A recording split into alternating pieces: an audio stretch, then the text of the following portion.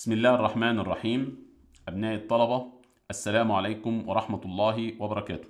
معكم دكتور محمود حسين في course ال Foundations Engineering 2 المقرر على المستوى العاشر في كلية الهندسة جامعة الملك خالد في قسم الهندسة المدنية. إن شاء الله هنبتدي مع بعض chapter 2 chapter 2 هنتكلم فيه عن تصميم الأساسات المنفصلة. هتقول لي ما إحنا خدنا تصميم الأساسات المنفصلة في أساسات واحد.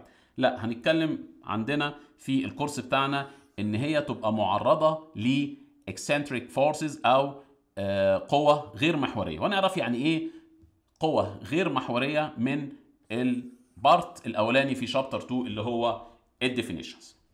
أول نوع من أنواع القوة الغير محورية هنتكلم فيها عن ال isolated footing subjected to one direction moment under individual column. يعني إيه الكلام دوت؟ طبعا إحنا لو أنا عندي frame بالشكل ده الأحمال هنا متماثلة والأطوال دي متماثلة القاعدة بتاعتي ديت مش هيبقى عليها moment كل اللي هيبقى عليها مين؟ هيبقى عليها قوة محورية وده غير مقرر علينا في الكورس ده خدناه في أساسات واحد. لكن لو نبص مع بعض لمين؟ للأساس اللي قدامك دوت. عندي frame بالشكل ده. آه في حمل موجود هنا. الحمل ده بالإضافة لل reaction أو الأكشن اللي هيدي على القاعده force بالشكل ده هيدي كمان moment هنا.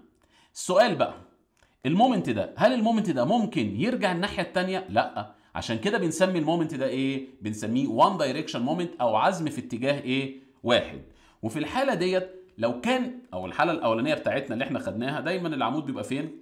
في نص القاعدة عشان ال stresses يبقى ماله uniform لكن لو أنا خليت العمود بتاعي في نص القاعدة في حالة ال moment ده هنلاقي إن ال stresses بقى ماله بقى non-uniform زي ما أنت شايف. ما بقاش stresses ماله uniform زي ده. في فرق ما بين ال stresses ال uniform هنا وإن هو ماله non-uniform فإحنا بنعمل إيه هنا؟ بنحاول نطول القاعده بتاعتنا بالمسافة اللي هي ال e بتاعتي بحيث في الآخر لما أجيب ال stresses تحت القاعده هنا يبقى ال stresses ماله uniform يعني لو تلاحظ هنا إن القاعده العمود بتاعي هنا هو مش في نص القاعده في ماله في مسافة. إيه اللي خلى فيه العمود ده مش في نص القاعده هنا هو إن العمود ده عليه مين moment بالشكل ده. فهو كان عايز يصمم هو طبعا مش غلط إن أنت تصمم القاعده بتاعتي على stresses ماله non-uniform ولكن لو أنا عندي الصلاحية إن أنا أطول القاعده بتاعتي من ناحية اللي فيها ال moment ديت فهيخلي لي ال stresses بتاعي uniform الكلام ده نعمله إزاي؟ ده اللي هنشوفه في الأجزاء القادمة إن شاء الله. شكرا.